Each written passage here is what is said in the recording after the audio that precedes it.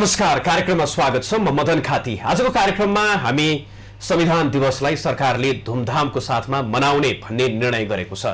तर अहिले पनि संविधान बनाउँदै गर्दाखेरि त्यति बेला पनि विरोध गरिराखेको एउटा शक्ति र अर्कोतर्फ चाहिँ संविधान बनिसकेपछि आजको दिनमा पनि त्यसलाई सर्वमान्य बनाउनको लागि संशोधन गर्नुपर्छ भनेर भनिराखेको मुख्य गरी त राजपा नेपालको कुरा गरौँ वा सङ्घीय समाजवादी फोरम र त्यसमा पनि जनजातिसँग सम्बन्धित विभिन्न सङ्घ सङ्गठनहरू र उनीहरूले पनि अहिलेको संविधानको कतै न कतै रूपमा यसमा संशोधन हुनुपर्ने र सबैलाई सर्वस्वीकार्य बनाउनु पर्ने भन्ने कुरा आइराखेको छ। र यसको साथसाथमा अर्को कुरा पनि पछिल्लो समय चासो चर्चा बहस र विवादको विषय के पनि राखेको छ राम जनताको चासोको सन्दर्भमा पनि प्रदेशहरू संहितामा हामी जसरी गयौँ अहिलेको संहिताको कार्यान्वयनको सन्दर्भमा त्यो आफैमा निकै महत्त्वपूर्ण कदम थियो तर प्रदेशहरू बनिसकेपछि त्यसको प्रभावकारिता किन पछिल्लो समय देखिराखेको छैन त्यहाँ कसको कमजोरी भइराखेको छ के कारणले गर्दाखेरि चाहिँ प्रदेशमा जनप्रतिनिधिहरूको त्यहाँका मन्त्री मुख्यमन्त्रीहरूलाई सेवा सुविधाको लागि कतै पनि कानुनी अडचन पनि नहुने जनप्रतिनिधिको अपुग पनि नहुने तर जनताको कामको लागि चाहिँ त्यहाँ कानुनी अडचनदेखि जनप्रतिनिधिकै सन्दर्भमा कुरा गरौँ वा कानुनको अभावको कुरा पनि आइराखेको छ कर्मचारीको अभावको कुरा पनि आइराखेको छ र यी कुराहरूको निकास के हुनसक्छ? आज हामी यस विषयमा केन्द्रित रहनेछौँ। यो विषयमा संवाद गर्नको लागि हामीले स्टुडियोमा आमन्त्रण गरेका छौँ। राजपा नेपालका महासचिव तथा प्रवक्ता हुनुहुन्छ केशव झा यहाँलाई कार्यक्रममा स्वागत छ। हजुर धन्यवाद। त्यस्तै गरी हामीसँग हुनुहुन्छ संविधान सभा सदस्य तथा प्रदेश नम्बर एक के सांसद उषा कलारा यहाँलाई कार्यक्रममा स्वागत छ। धन्यवाद। म सुरुवात गर्न चाहिँ केशवजीबाट। अब संविधान दिवसकै सन्दर्भमा यहाँहरू त त्यसको संशोधनको माग गरिराख्नु भएको छ तर सरकारले प्रत्येक नागरिकको घरमा चाहिँ दीपावली गरेर संविधान दिवस मनाउने भन्ने कुरा पनि आइराखेको छ। अब सङ्घीय समाजवादीको कुरा गर्ने भने उहाँहरू न विरोध गर्ने न समर्थन गर्ने तर यहाँहरूको चाहिँ के छ? हाम्रो चाहिँ हामीले घोषणा गरिसकेका छौँ। र हाम्रो निर्णय पनि भइसकेको छ। हामीले देशव्यापी रूपमै जहाँ जहाँ हाम्रो सङ्गठन छ हामीले सबै ठाउँमा यो तिन गतेलाई कालो दिनको रूपमा मनाउने र त्यसको विरोधमा चाहिँ विरोध स्वरूप कार्यक्रमहरू गर्ने। आजको दिनमा किन कालो दिनको रूपमा? यहाँहरू त त्यही संविधान अन्तर्गत बनेकै संरचना अब हामीले सुरुदेखि भने निर्वाचनमा पनि सहभागिता जनाउनु हो। होइन? ठिक हो। फेरि कालो दिन भनिराख्नु भएको छ। त्यसको कारण के हो भने हामीले सुरुकै दिनदेखि नै भनेको विषय के हो भने यो संविधान अपूर्ण छ अधुरो छ र हामीले संशोधनको कुरा उठाएका छौँ। हामीले संशोधनको कुरा उठाउनु भनेकै के हो? आंशिक रूपमा स्वीकार गर्नु हो। आंशिक रूपमा हामीले स्वीकार गरेको हो।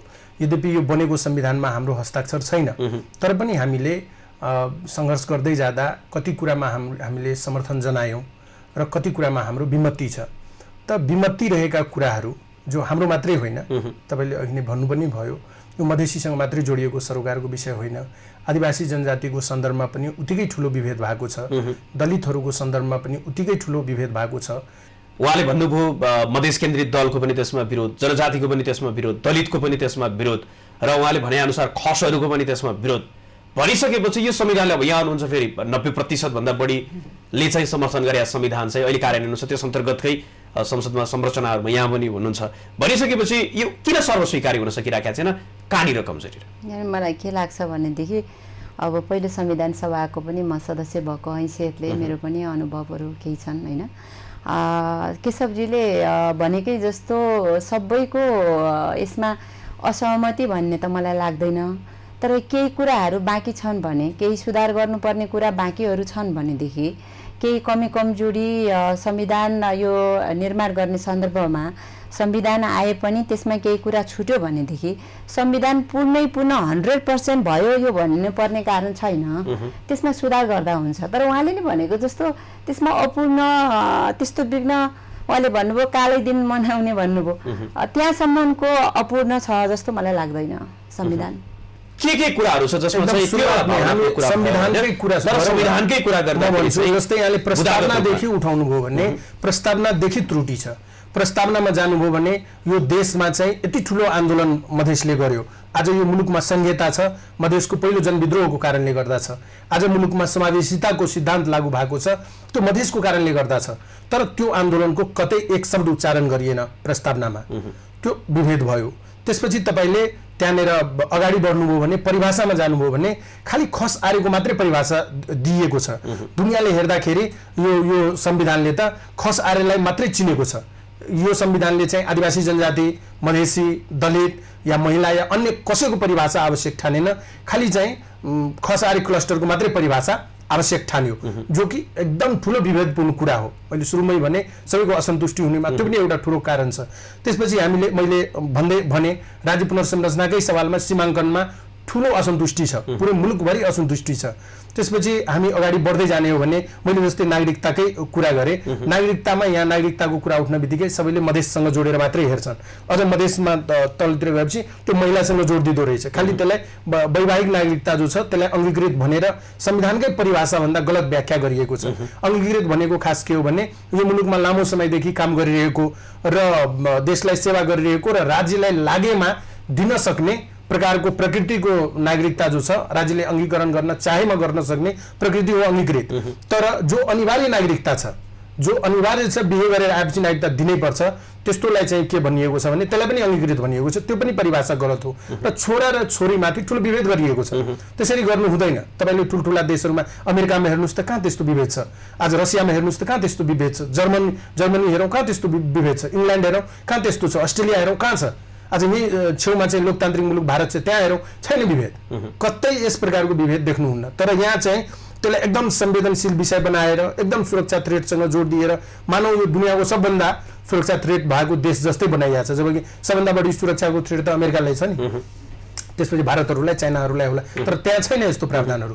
तर हाम्रो यहाँ चाहिँ एकदम विवाद गरेर यो शासन सत्ता टिकाइराख्नलाई एउटा नागरिकताको विषय छ। त्यसपछि हामीले भन्दै गरेको विषय महत्त्वपूर्ण विषय भनेको भाषाको कुरा छ। यो मुलुकमा के भयो भने अब पृथ्वीनारायण शाहले पनि यो राज्यको विस्तार गर्ने क्रममा नेपाल चाहिँ चार जात छत्तिस वनको साझा फुलबारी भन्यो।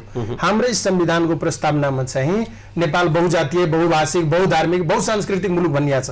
तर एउटै भाषा एउटै भेषवाला कुरा छ यहाँ। उहाँले जुन जुन कुरा उठाउनुभयो सीमाङ्कनको कुरा वा भाषाको कुरा वा प्रस्तावनामा देखिएको उहाँ भनेअनुसार गल्तीको कुरा वा परिभाषाको सन्दर्भमा कसरी चाहिँ सर्वस्वीकार गराउन सकिएला यो विषयमा चाहिँ नेकपाको यहाँ स्वयंको धारणा छ। होइन के भने यो संविधानमा त्यत्रो विघ्न धेरै समस्याहरू मैले देखेको छैन। संविधान चाहिँ धेरै मेहनतका साथ यत्रो धेरै वर्ष लगाएर दुईवटा संविधान सभाले बनाएको संविधान हो त्यो। र त्यसमा एकदमै घनीभूत र मसिनो गरेर छलफल पनि भएको छ। र जो प्रस्तावनादेखि लिएर उहाँले परिभाषा नागरिकताका विषयदेखि लिएर धेरै कुराहरू उहाँले राख्नु भएको छ।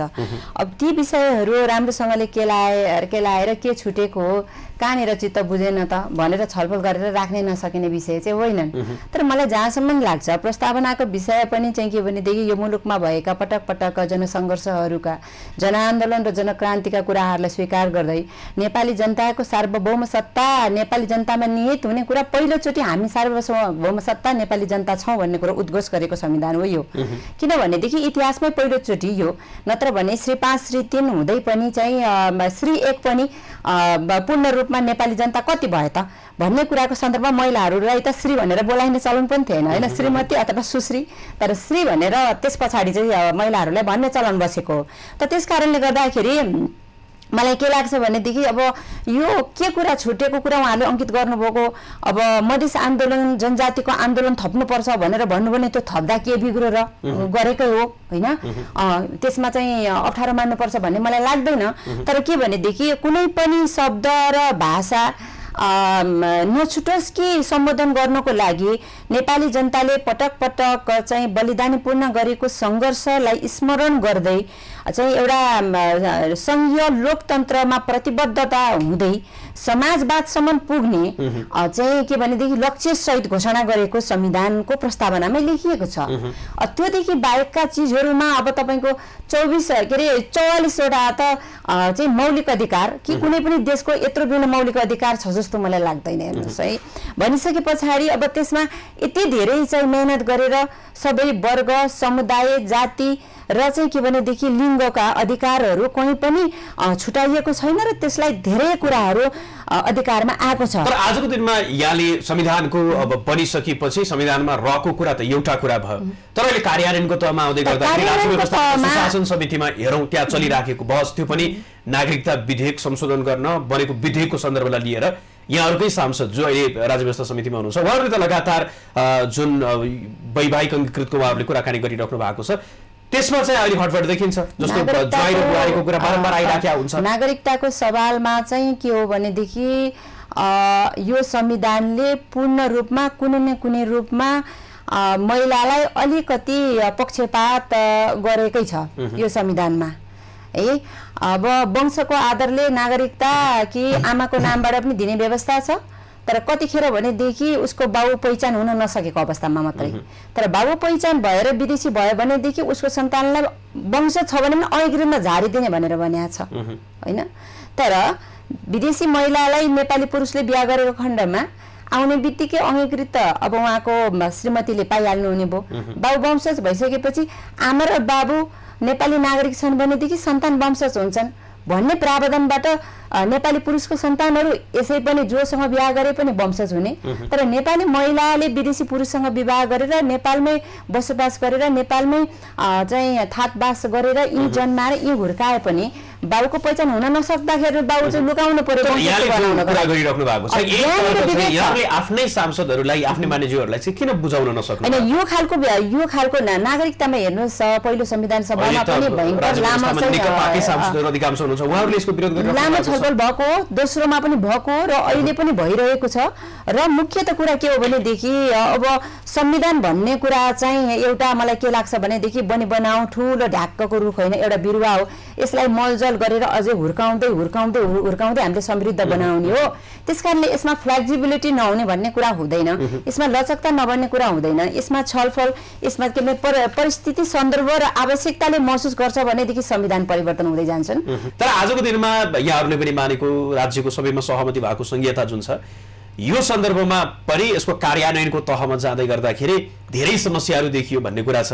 जनताले जुन अपेक्षा सहित संहितालाई हेरिराखेका थिए यो त जनताको लागि पछिल्लो समय बोझ भइराखेको अथवा चालु खर्च बढिराखेको पुँजीगत खर्च चाहिँ हुन नसकिराखेको त्यस्तो देखिराखेका छ नि कसरी हेर्नु भएको छ? होइन यसमा दुई तिनवटा कुरा छ। एउटा महत्त्वपूर्ण कुरा के हो भने संहिता मुलुकमा आयो। मुलुक आज सङ्घीय लोकतान्त्रिक गणतन्त्र भएको छ। तर दुर्भाग्य के भयो भने संहिता नरुचाउने व्यक्तिको हातमा नेतृत्व छ। उसले जसरी पनि यो संहितालाई कसरी समाप्त बनाउने कसरी यसलाई चाहिँ कमजोर पार्ने भन्ने षड्यन्त्रमै दिनरात लागेको देखिन्छ। केन्द्रीय नेतृत्वको एउटा कुरा केन्द्रीय होइन, मैले पृष्ठभूमिमा पनि गरेका थिएँ। मैले राजनैतिक दलका नेतृत्व जो प्रदेशमा यहाँहरूकै पनि अब नेतृत्वमा सरकार छ प्रदेश नम्बर दुईमा होइन प्रदेश नम्बर दुईमै कुरा गरौँ या प्रदेश नम्बर अन्य प्रदेशहरूको कुरा गर्दाखेरि नेकपाको सातवटा प्रदेशमा सरकार रहिराखेको अवस्था छ। भनिसकेपछि कतै न कतै देखिराखेको कुरा चाहिँ यहाँहरूको सेवा सुविधाको लागि चाहिँ कतै पनि फरक नपर्ने त्यहाँ चाहिँ जनप्रतिनिधिको अभावको कुरा विधानहरूको कुरा तर जनताको कामको लागि चाहिँ समस्या परिराखेको भन्ने कुरा। छैन म त्यही भन्दै थिएँ। संहिता गयो अधिकारहरू तल गयो होइन? स्थानीय तहमा पनि केही अधिकारहरू गयो धेरै अधिकारहरू गयो। प्रायः सबै काम स्थानीय तहबाट भइरहेकै अवस्था छ। त्यसमा कुनै त्यस्तो व्यवधानहरू छैन। नयाँ सिस्टम हो नयाँ तरिकाले सुरु भएको छ। त्यसकारण कति कुराहरूमा कमी कमजोरी होला सुधार्दै जानुपर्छ। नयाँ सिस्टममा त्यो हुन्छ। प्रदेशको सन्दर्भमा जो संहिता जहाँबाट देखिन्छ त्यो देखिने सम्बन्धमा यदि पुरै देशभरिमा हेर्ने हो भने दुई नम्बरले मात्रै थेगा छ।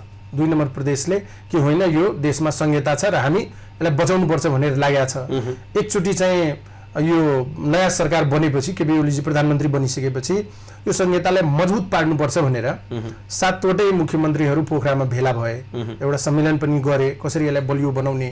त्यो सन्दर्भमा अनि कुरा अगाडि बढाउन खोजेपछि प्रधानमन्त्रीलाई चार दिनसम्म कुर्दा पनि प्रधानमन्त्रीले भेटसम्म दिएनन्। यो मुख्यमन्त्रीहरू मलाई नसोधी किन बस्यो भनेर। कतिसम्मको त्यो मनमा कुण्ठा र पीडा रहेछ हेर्नुहोस्। अहिलेकै संविधानलाई चाहिँ पूर्ण रूपमा कार्यान्वयनमा लैजाने प्रति पनि यहाँहरूको नेतृत्व चाहिँ त्यति धेरै इमान्दार भएन भन्ने कुरामा चाहिँ यहाँहरूले कस्तो महसुस गर्नुभएको छ? त्यस्तै हो। प्रधानमन्त्रीको नियत र इच्छा त्यसमा केही पनि छैन। प्रधानमन्त्रीको नियत र इच्छाको प्रभाव केमा चाहिँ त्यसरी चाहिँ हेम्पर पुग्यो होला र भन्ने मलाई लाग्छ। त्यसो म एक उहाँले- प्रश्नको जवाब चाहिँ यहाँलाई चाहिँ किन लाग्यो त्यस्तो? यहाँले नेतृत्वबाटै चाहिँ त्यो खोट देख्नुको कारण चाहिँ के हो? के हो भन्ने जस्तै कि म उदाहरण दिएर कुरा गर्छु किनकि अब तर्क गर्दा त तर्क त जति पनि तर्क वितर्क भइरहन्छ तथ्यमा कुरा गरौँ। अ, तपाईँलाई स्मरण होला दुई दिन अगाडि मात्रै महेन्द्र शाही जो मुख्यमन्त्री हुनुहुन्छ उहाँले चाहिँ केन्द्र सरकारले सङ्घले हामीलाई संहितामा भएको अधिकारहरूलाई पनि कुठाराघात गर्न खोज्यो। त्यो अधिकार खोज्न खोज्यो त्यो अधिकार प्रयोग गर्न दिएन भनेर अस्ति मात्रै बोलेको कुरा छ। दुई नम्बरले बोल्दा त ल यिनीहरू विपक्षी पार्टी भयो जे पनि बोल्छ भन्ने भयो नि त। तर महेन्द्र शाहीले बोलेका छन् तर यहाँले अगाडि भनेको कुरा। भन्छु अर्को विषय भन्छु। केही दिन अगाडि मात्रै बजेट आउने बेलामा पनि र त्यसपछि पनि चार नम्बरको मुख्यमन्त्रीले पनि त्यसै गरी विरोध गरे कि यो भएन। यो संहितामा आइसकेपछि मुलुकमा जसरी बजेटको वर्गीकरण हुनुपर्थ्यो विनियोजन हुनुपर्थ्यो इभन पहाडका जिल्लाहरूमा पनि त्यो कुराहरू उठेको छ कि त्यहाँ चाहिँ त्यसरी बजेटको विनियोजन भएन। होइन? अब म मेरो प्रश्न के रह्यो भने अब तपाईँले मलाई भन्नुहोस् कि सरकार भनेको हो के त? न सरकारसँग आफू बजेट छ बजेट यहाँबाट एकदम कन्जुसिया गरिएको छ संहितामा गइसके पनि त्यो केन्द्रीकृत शासनको सत्ताकै निरन्तरता छ बजेट विनियोजनमा। अब तपाईँ सरकार भन्नुहुन्छ खै त उसको सुरक्षा निकाय? आज सुरक्षा निकायको कुरा हुँदाखेरि संविधानमा लेखिएको छ उसको आफ्नो प्रहरी प्रशासन हुनेछ होइन? प्रशासन र प्रहरीको बारेमा ऐन ल्याउन खोज्दाखेरि दुई नम्बरमा कति बवाल बवाल भयो। हेर्नुभयो जबकि संविधानमा एउटा तर्क के गरिराख्नु भएको थियो भन्दाखेरि। जस्तो केन्द्रको नियत नै अथवा प्रदेश नम्बर दुईले नै राखेको जस्तो महेन्द्र साईको कुरा गर्नुभयो यहाँले? चारको मुख्यमन्त्रीको कुरा गर्नुभयो। उहाँहरूले पनि त विरोध गरिराख्नु भएको छ अथवा कतै न कतै रूपमा केन्द्रप्रति चाहिँ यो संहिताप्रति चाहिँ केन्द्रको अलिक बढी केन्द्रीकरण गर्न खोजिराख्या भन्ने कुरा त उहाँहरूले ल्याउनु भएको छ नि त। केन्द्रको नियत कहाँ गलत देखियो नि? कि प्रदेशले संविधानमा भएकै अधिकारको प्रयोग गर्न खोज्दाखेरि केन्द्रले अङ्कुश लगायो केन्द्रले नियन्त्रण गर्न खोज्यो। अब हुँदै नभएको आज सिडिओलाई यति पावरफुल बनाइयो कि मुख्यमन्त्री भन्दा नि मस्ट पावरफुल बनाइएको छ। त्यसको लागि यहाँबाट ड्राफ्टिङ भएर गइसक्यो। त्यही राज्य व्यवस्था तथा शासन समितिले गर्यो। त प्रहरी प्रशासनको सम्बन्धमा के भनियो भने जबकि आफ्नो प्रहरी प्रशासन भनिएको छ संविधानले अनि डिएसपी भन्दा माथि चाहिँ नियुक्ति गर्न नपाउने रे। होइन? त्योभन्दा माथि चाहिँ को चाहिँ केन्द्रकै प्रहरी प्रशासन हुने रे? भनेपछि न उसँग आफ्नो सुरक्षा निकाय छ न उसको आफ्नो कर्मचारी छ। आफ्नो कर्मचारी नियुक्ति गर्दा नि उसलाई त्यही रडाएको छ पुरै। त्यो गर्न पाइरहेको छैन। त्यसमा पनि ठुलो यहाँ के के न एउटा छुट्टै देशै जस्तो व्यवहार गरे जस्तो केन्द्रले गरिरहेछ त तपाईँ काम कसरी गर्नुहुन्छ? न तपाईँसँग आफ्नो बजेट छ न तपाईँसँग आफ्नो सुरक्षा। आज कुनै कतै घटना हुन बित्तिकै तपाईँले कसको सहारा लिनुपर्ने छ? केन्द्रको लिनुपर्ने हुन्छ। त न आफ्नो सुरक्षा निकाय भयो न तपाईँको आफ्नो मेकानिजम हो न कर्मचारी भयो न कार्यालय भयो तपाईँले काम गर्नुहुन्छ कसरी? जबकि दुई वर्ष पुग्न आँट्यो नि त।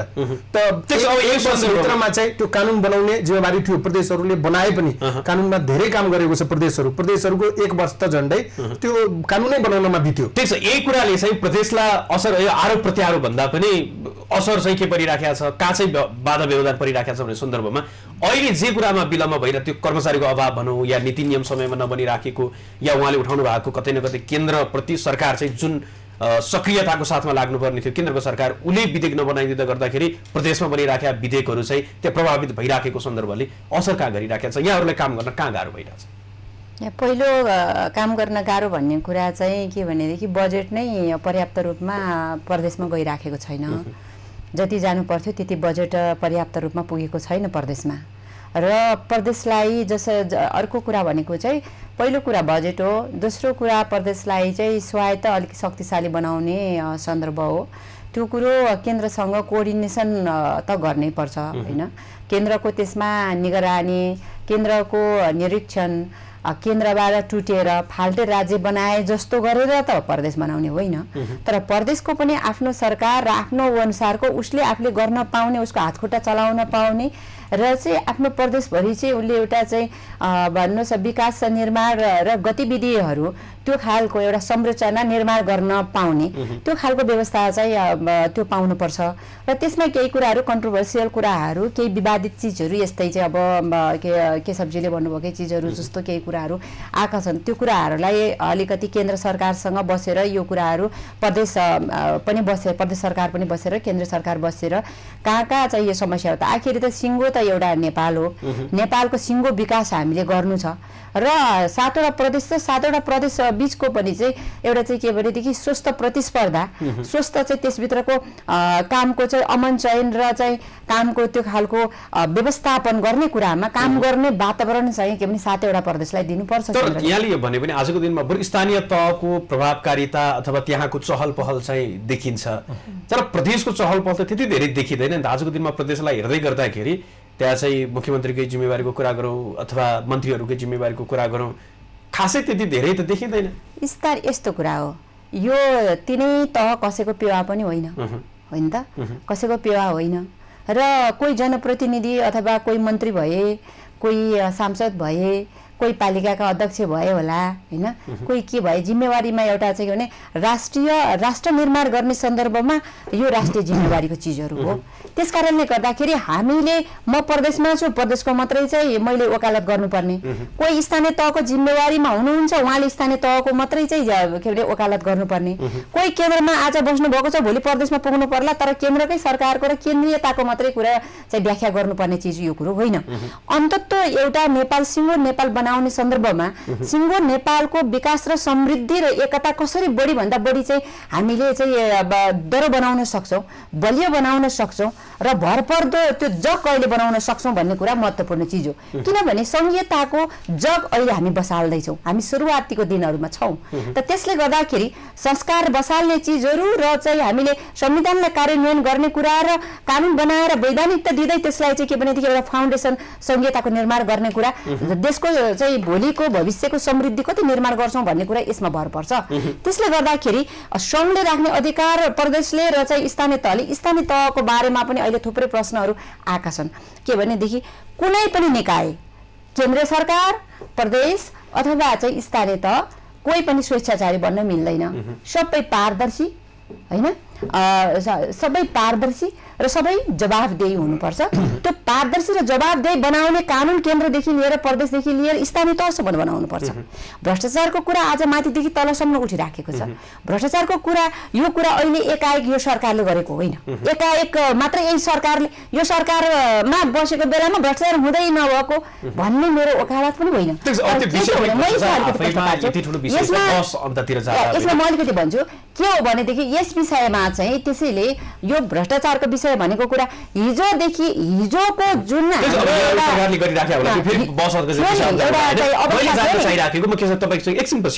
अब अहिले म कार्यक्रम लगभग अन्तिममा पनि छु। अन्तिममा चाहिँ संविधानलाई सर्वस्वीकार्य र यसको कार्यान्वयनको सन्दर्भ भनेको प्रत्यक्ष जोडिएको संहिताको कार्यान्वयनसँग जोडिया छ। त्यसको प्रभावकारिता र सफलतासँग पनि जोडिया छ। अब गर्नुपर्छ के त? यसको सर्वस्वीकार्यताको लागि र यसको प्रभावकारी कार्यान्वयनको लागि। पहिलो कुरा त के हो भन्ने जति पनि असन्तुष्टिहरू छ किनकि हामी मात्रै असन्तुष्टि होइन। कति पक्षहरू त असन्तुष्ट भएर अहिले चाहिँ भूमिगत राजनीतिमा गइसके होइन? त जति पनि मुलुकमा भएको जति पनि असन्तुष्ट पक्षहरू छ र हामी लगायत मधेसी भयो आदिवासी जनजातिदेखि लिएर दलित जति पनि उत्पीडित वर्गहरू छन् समुदायहरू छन् सबैसँग चाहिँ गरेर छलफल गरेर विस्तृत छलफल गरेर सबैको एजेन्डा सम्बोधन हुने गरी। खालि हामीले जे भन्छौँ त्यही हुनुपर्छ भन्ने मात्रै पनि होइन। सबैको सम्बोधन हुने गरी र सबैलाई समान व्यवहार गर्ने गरी। कसैलाई चाहिँ काखा पाखा फिल हुनु भएन मुलुकमा सबैको मुलुक हो। सबैलाई जबसम्म यो अनुभूति हुँदैन यो मुलुक मेरो हो तबसम्म चाहिँ राष्ट्रियता बलियो हुँदैन राष्ट्रिय एकता बलियो हुँदैन। त्यस कारणले मुलुकलाई बनाउनुको लागि सबभन्दा पहिला शान्ति हुनु आवश्यक छ।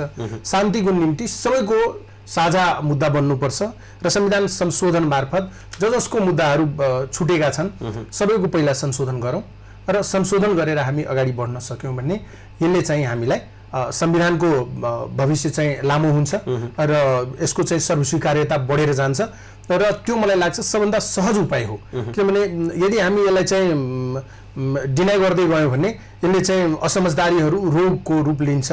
रोगबाट रोग बढ्दै गएपछि ठुलो क्यान्सरै बन्ला। त्यसले चाहिँ ठुलो चाहिँ विनाशकारी परिस्थिति निम्ति प्रश्न चाहिँ कार्यक्रमको अन्तिममा सकलाजीलाई राख्न चाहे। अहिले कार्यान्वयन सन्दर्भमा आइराखेको चाहे त्यो जनजातिहरू नै आन्दोलित हुनु लोकसेवाको विज्ञापनको कुरा गरौँ त्यो कार्यान्वयनसँग जोडिएको कुरा थियो संविधानले सुनिश्चित गरेको तर कार्यान्वयन नभइराखेको भन्ने कुरा आइराखेको नागरिकताकै कुरा गरौँ यसमा त यहाँ आफैले पनि महिलाको नागरिकताको विषयलाई लिएर लगातार आवाज उठाइराख्नु भएको छ। महिलाको अधिकारको विषयमा आवाज उठाइराख्नु भएको छ। त्यो विषय पनि अलि जोडिरहेछ र सर्वस्वीकार्यताको विषयमा संविधान संशोधनसँग जोडिया विषय छ गर्नुपर्छ कि? सर्वस्वीकार्यता र संविधानको प्रभावकारी कार्यान्वयनको लागि।